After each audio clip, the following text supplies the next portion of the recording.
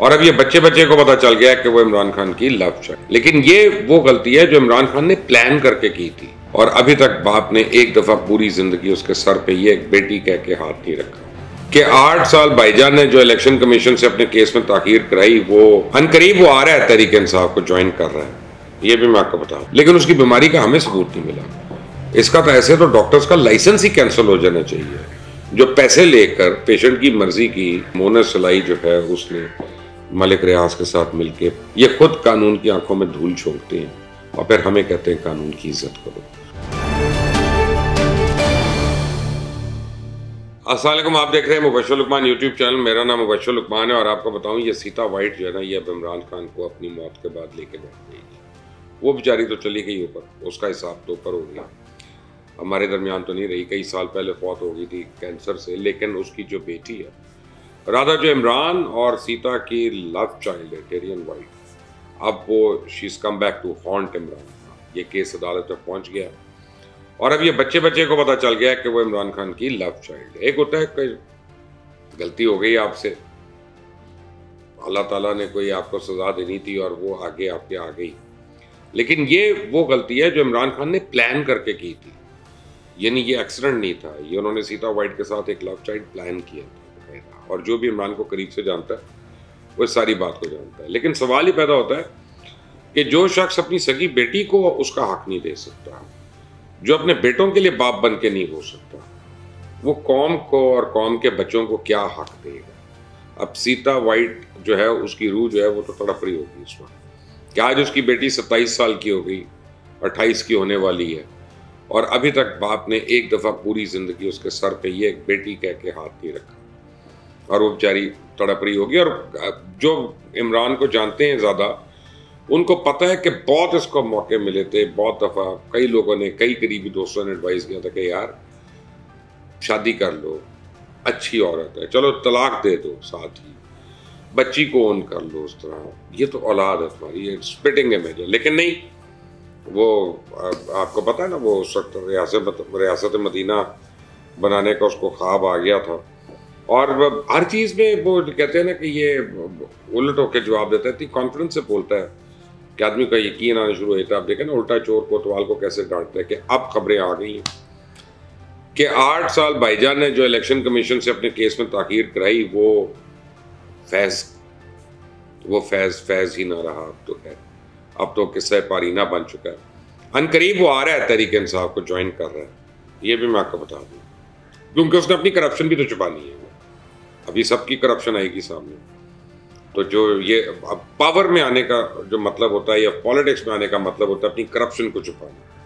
और तो इसका कोई मतलब नहीं कोई फ़ायदा नहीं फ़िलहाल तो। अब इलेक्शन कमीशन जो है उसको वो आ, किस तरह से सात साल आर्म ट्विस्टिंग करता रहा कि इमरान खान के केस के फैसले को आगे करो आगे करो। बल्कि कहा जा रहा है कि काफ़ी एविडेंस भी उसने जायल कराया और ज़ाया करवाया। और इलेक्शन कमीशन वाले, उनकी तो मुझे समझ नहीं आती है। इनके तो मेंबर्स को वैसे ही फारिग हो जाने चाहिए। एक मिन्नत कर ले, देखें, ये तो कोई तरीका नहीं है ना जी, हम पे इल्ज़ाम लगाने का। दूसरा कह रहा है कि हम क्या करें, ये क्या करें। भाई, तुम मेंबर्स हो इलेक्शन कमीशन के। अपनी अपनी पावर्स को एक्सरसाइज करो। अगर तुम सही हो, अगर तुम हक पे हो, अगर तुम जायज़ हो, अगर तुमने वाकई दो नंबरी की है तो ठीक है, तुम्हारे साथ होना चाहिए ऐसे।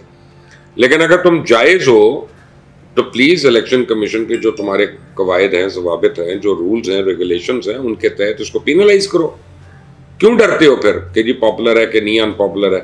और जहाँ तक पॉपुलर होने का ताल्लुक है तो नया पंडोरा बॉक्स खुल गया इमरान खान और खुद पीटीआई की जो पॉपुलैरिटी है, वो सोशल मीडिया के ऊपर, वो 55 परसेंट के करीब फेक है।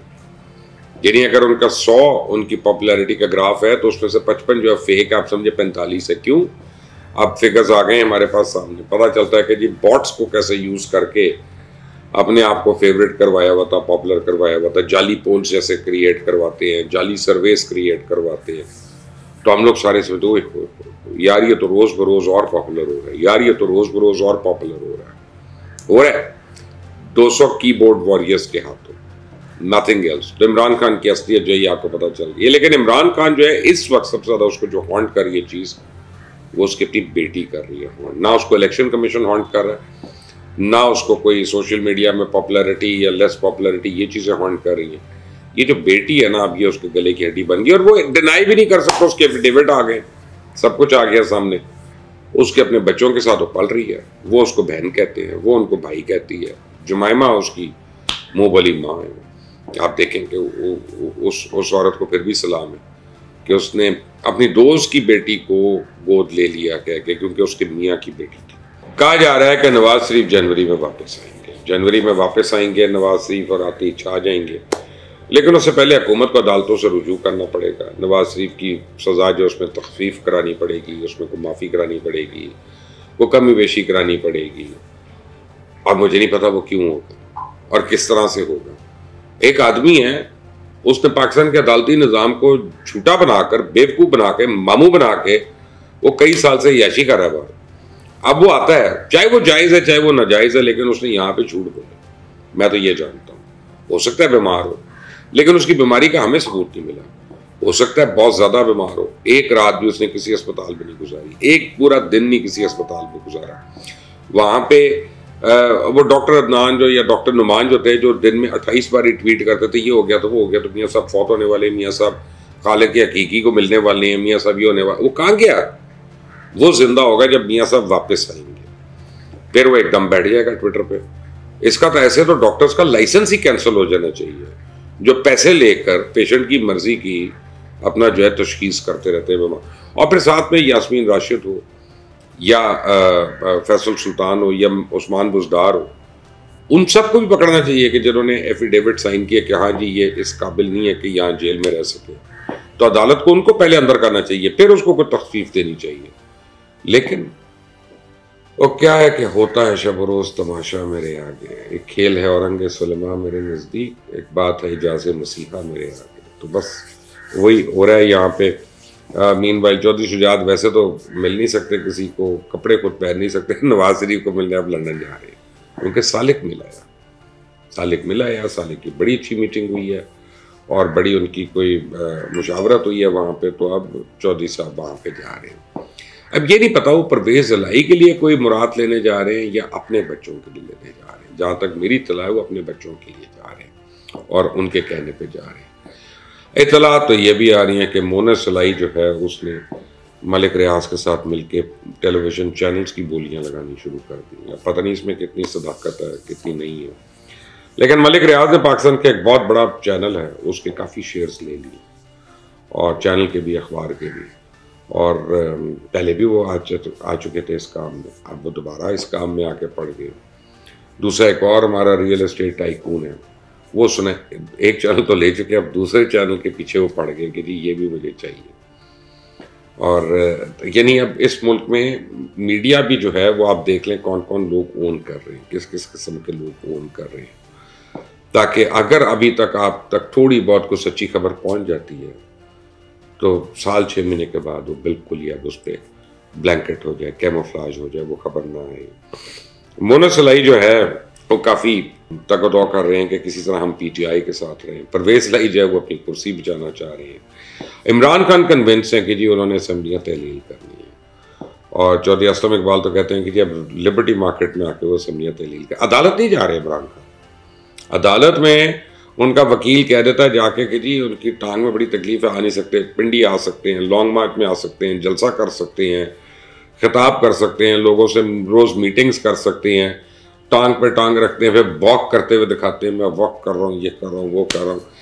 अदालत जाते हुए फिर वही मियाँ नवाज़ शरीफ की तरह इनके भी टांगों के प्लेटलेट सिर्फ़ एक टांग का प्लेटलेट जो है ना, वो डाउन हो जाते हैं। ये अजीब ड्रामे हैं हमारे सियासतदानों के ये खुद कानून की आँखों में धूल छोंकते हैं और फिर हमें कहते हैं कानून की इज़्ज़त करो। और कानून इनको करने देता है। और फिर कानून तड़पता है कि जब हम या आम आदमी, अगर हम भी वही उसी तरह डील करें कानून से तो फिर हमारे साथ डिफरेंट कानून हो जाता है। ये इस मुल्क का हाल है। कर्जे हमारे बढ़ गए हैं। गर्दशी कर्जों ने तो कमर तोड़ दी है। कारोबार बंद हो रहे हैं इस वक्त। ये मैं मानता हूँ, इसमें कसूर सिर्फ़ हुकूमत का नहीं है। क्योंकि इसमें यूरोप की जो मार्केट है, उसका, उसकी डिप्रेशन बहुत ज़्यादा है। अमेरिका की भी मार्केट की डिप्रेशन है।